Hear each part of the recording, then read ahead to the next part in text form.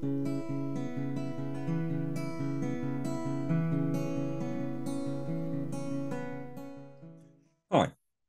this tooltip is related to the safe use of a pillar drill and supplements the Model Risk Assessment 039.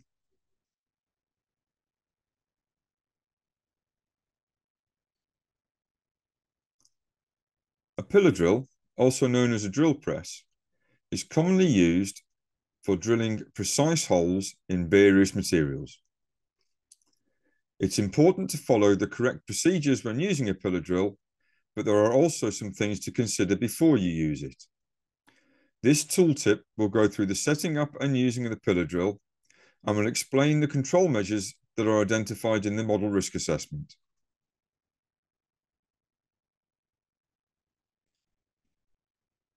As with all fixed machines, the pillar drill needs to be securely bolted down and installed correctly, with cables run through a protective conduit and the power supplied via a lockable isolator.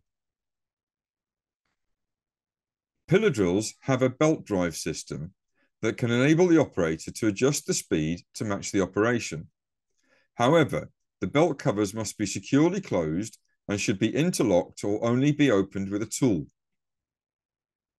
Before starting to use the machine, operators must wear appropriate safety gear, including eye protection.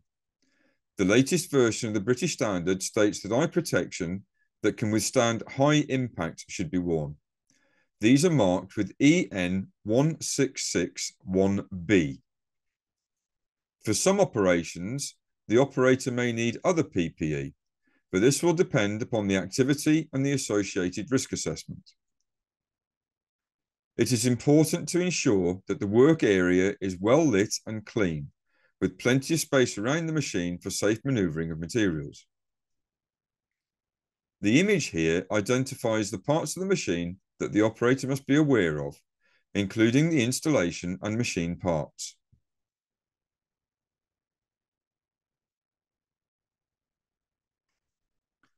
Fitting the drill into the chuck is an operation usually carried out by the teacher or technician. But with practice, pupils could do this. But the fitting should be checked by the teacher or technician before it is used. Fitting a drill bit will require that the chuck guard is moved out of position. It is important that this is replaced before the machine is used. Drill bits come in a variety of sizes and shapes, but must always have a shank, usually round or hexagonal, that fits securely into the chuck. There are two types of chuck. Those with keys are the most common, but keyless chucks are becoming more common in schools. The chuck key, a T-shaped tool used to tighten and loosen the chuck, should be stored near the machine, but it should never be left in the chuck as it can be thrown out if the machine is turned on. You must insert the chuck key into one of the holes on the chuck, and with a firm grip on the chuck key, turn it clockwise to tighten it and counterclockwise to loosen the chuck. A keyless chuck requires the operator to hold the two knurled collars and turn them to open the jaws or to close the jaws. This should not be attempted when the machine is running. When the drill bit is in the chuck, it should be checked to make sure that it is central, as it is possible to tighten the chuck with the drill bit only caught by two of the jaws. By slowly rotating the chuck by hand, you can see if the drill bit is running correctly. If it isn't, you can loosen the chuck grip and insert the drill bit again. Then retighten the chuck and check it again. This can be more of a problem with smaller drill bits. Finally, the chuck guard should be replaced. There are two drilling operations, drilling right through a workpiece and drilling partway through. Depending on your material and the drill bit size, the drill speed may need adjusting. Lower speeds are suitable for larger bits or harder materials, while higher speeds work well for smaller bits and softer materials. Before drilling a hole, the workpiece should be marked to locate where the hole is required for the material. For timber, this would normally be a pencil mark. Plastics can be marked with a felt tip and metals with a center punch. A center punch mark also helps locate the drill bit as you start to drill.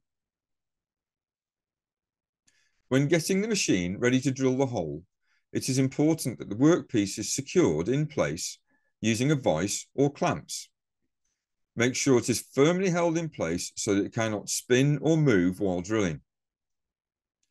Most pillar drills have adjustable tables, so the height can be adjusted to allow for different sizes of workpiece. Adjusting the table height should be done by the teacher or technician. Before starting the machine, the operator should check that the workpiece is in the desired height and in line with the drill bit. If you only intend to drill partway through, the depth adjustment should be set to limit how far the drill can be lowered into the workpiece. If the machine does not have a depth adjustment, a piece of tape can be attached to the drill bit. The operator should check that everything is secure, the drill is correctly held in the chuck, and the workpiece is secure. The drill depth should be set if it is needed, and the machine should be set to the correct speed. Finally, the chuck guard should be adjusted so that it covers the moving parts but does not foul the workpiece.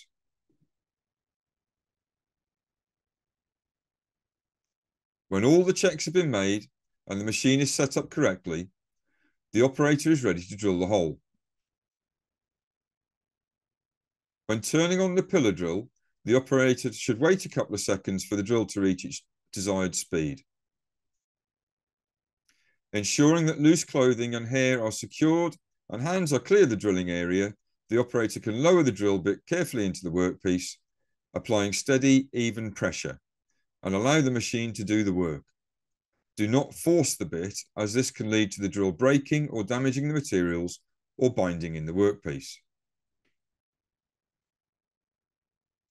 After finishing the drilling operation, the operator should withdraw the drill from the workpiece before switching off the machine. The operator should wait for the machine to come to a complete stop and then carefully remove the workpiece, bearing in mind that there may be waste materials such as dust or swarf on and around the work area, and the material and the drill bit may be hot.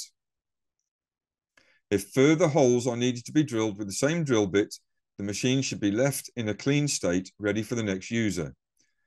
Otherwise, it'd be good practice to remove the drill bit and return the bit and the chuck key to the respective storage.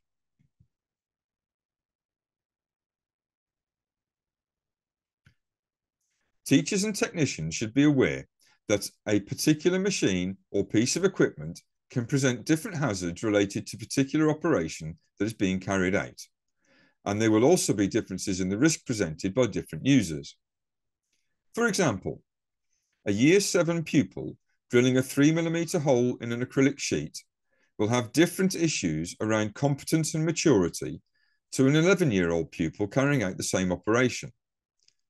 There will also be different hazards presented when drilling different materials, such as controlling the dust when drilling MDF or handling the swarf from drilling steel. In our video describing how to carry out and record risk assessments, we explained the use of a spreadsheet to record the important control measures from the MRAT and how to use that information to inform the user and to help when teaching pupils. The text on this slide is taken from our record of the risk assessment for using the pillar drill in our own facility. Thanks for watching.